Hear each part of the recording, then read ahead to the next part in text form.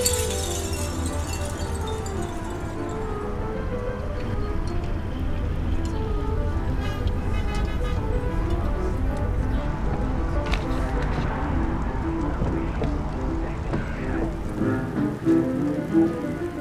mm -hmm. you